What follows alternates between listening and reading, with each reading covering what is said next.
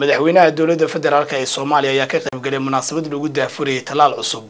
oo looga hortegayo cudurrada halista ah ee ku dhaca carruurta sida warbixinta uu nagu soo diraya wariyaheyna cabdirasaaq jaamac cilmi balaagen munaasabadani oo ahayd mid si heer saraal loo soo agaasimay islamar ahaantaana lagu daafurayay tallaalka bentvalant oo ah tallaal ka kooban shan tallaal oo loogu talagalay in looga hortago qaar ka mid a cudurrada dilaaga ee carruurta ku dhaca sida gowracatada teetanada xiiqdheerta cagaarshowga iyo weliba cudurro kale ayaa waxaa ka qayb galay madaxweynaha dowladda federaalk soomaaliya xasan sheekh maxamuud. Qaar ka mid a mas'uuliyiinta wasaaradda adeega bulshada xukuumadda federaalk soomaaliya xubno ka kala socday bulshada rayidka iyo ururada haweenka iyadoona sidoo kale ay munaasabadda qayb ka ahaa wakiilo ka socday isbahaysiga jevi alliance unisef iyo weliba w h o oo iyaga soomaaliya ka caawiyey helidda tallaalkani munaasabadani daafurka oo ay hadallo dhaadheer ka soo jeediyeen mas'uuliyiin kala duwan oo matalayay wasaaradda horumarinta iyo adeega bulshada qaybteeda agaasimka caafimaadka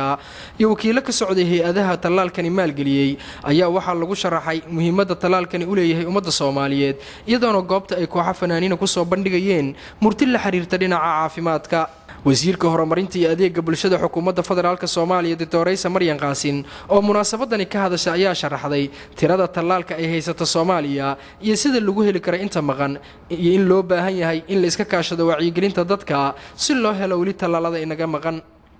Ilmaha adduweynaha ku nool tallaal intaan ka badan helaan. Annaga lixaan haysanay labaa lagu soo daray sideeday maraysaa wax weyn maaha weli. Aniga ma hurdaayo ma gamcaayo ilaa aan helno tallaal inta ugu badan aan heli karno. Kan intaan ka marnay ilaaha og kuwa kale waa raadinaynaa. Laakiin dadka faqiirka sideenoo kale waxyaabaha lagu xujeeyey si wax loo siiya waxaa ka mid ah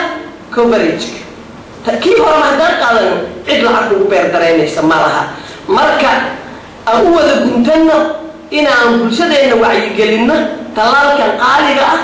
ee nalagu siinaayo maadaama aan nahay dowlad faqiir aan gadan karin inaan coverageka kor u qaadno si kuwo kalena aan u helno isagana nalagu siyaadiyey madaxweynaha dowladda federaalk soomaaliya brofesor xasan sheekh maxamuud isna gabagabadii goobta ka hadlay ayaa u mahad celiyey hay'adaha gacanta ka geystay hirgelinta tallaalkani isagoona tilmaamay in waxyaabaha ugu muhiimsan ee dowladdiisa ay ka mid tahay in degmo weliba iyo goob weliba oo ka mid a dhulka soomaaliyeed laga hirgeliyo xarun caafimaad si loo badbaadiyo jiilka soomaaliyeed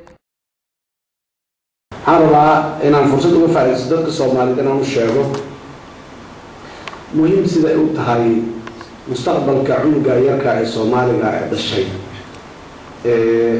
Backageka ama waxyaabaha isku tegayo ee cunugaas ka dhigaya muwaadin caafimaad qaba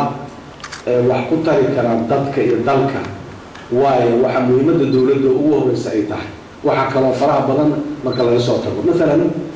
dowladda barnaamijkeedii ahayday shanta mashruuc ee yaryar ee degmo kasta ha laga hirgeliyo degmo kasta oo dalka ka tirsan yani meesha ugu hoos waxa ugu hooseyso degmadaasi ay lahaan karto waa inay noqotaa shantaas mashruuc. Kasii badan waa waxa aan jecelnahay laakiin inaan hubinahay in aanay jirin degmo ku taalo soomaaliya oo aan lahayn shantaas mashruuc. Shanta mashruuc kow waxaa ka ahday muxuu ahay goob xarun madaxweyne xasan sheekh maxamuud ayaa isagu cunugii ugu horreeyey siiyey tallaalkan bentvaland oo isagu maanta si toosa looga dahfuray qaybo ka mid a soomaaliya sida magaalooyinka muqdisho garoowe iyo weliba magaalada hargeysa. Cabdirasaaq jaamic cilmi balaag soomaali janaal muqdisho